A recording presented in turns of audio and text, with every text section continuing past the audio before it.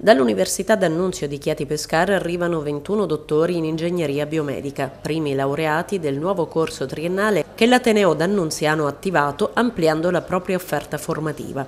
Al TG8 il professor Enrico Spacone, presidente del corso di studi. Oggi si scrive una pagina della storia di questo Ateneo perché sono i primi laureati in eh, ingegneria biomedica sono 21 ragazzi che hanno concluso il corso di studi in meno di tre anni, un, veramente un successo. Questa è una laurea triennale. L'Ateneo d'Annunzio ha già avviato una laurea magistrale, quindi io penso che tutti quanti i laureati di oggi continueranno con la laurea magistrale che apre un, una serie di mondi eh, a questi ragazzi eh, volenterosi e propositivi.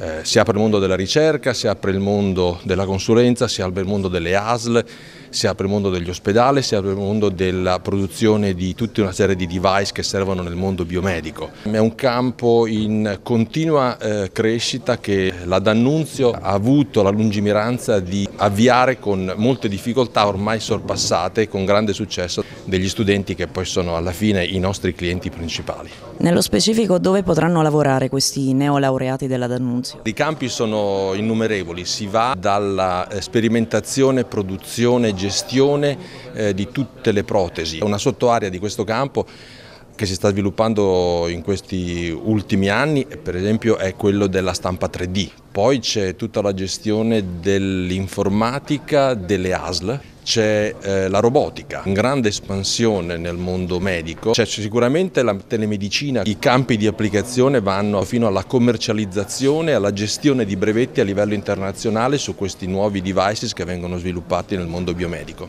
Cosa ti ha spinto a scegliere questo corso di laurea? L'opportunità di, di, poter fare qualcosa che potesse aiutare gli altri, comunque l'ingegneria biomedica è un ramo che, una, eh, che si sta sviluppando recentemente ma che nel futuro penso avrà molte applicazioni soprattutto per quanto riguarda riguarda l'interazione tra medico e tecnico nella realizzazione magari di dispositivi medici su misura, di protesi o di macchinari anche per le analisi, per le analisi ospedaliere. Perché sono appassionata sia comunque dell'ingegneria, quindi di matematica, fisica, quindi materie ingegneristiche, ma anche di medicina, quindi mi sembrava un buon connubio di entrambe. Abbiamo molti corsi di odontoiatria, molti corsi di medicina. Adesso sceglieremo eh, quale percorso prendere, intraprendere, vedremo. E come vi vedrete tra qualche anno? A lavorare dove? Io spero di rimanere comunque nell'ambito ospedaliero, infatti il mio indirizzo che sceglierò nella magistrale sarà telemedicina e biorobotica che svolgerò qui alla D'Annunzio. Io personalmente penso in un'azienda pubblica come eh, ospedale perché penso di seguire con ingegneria clinica.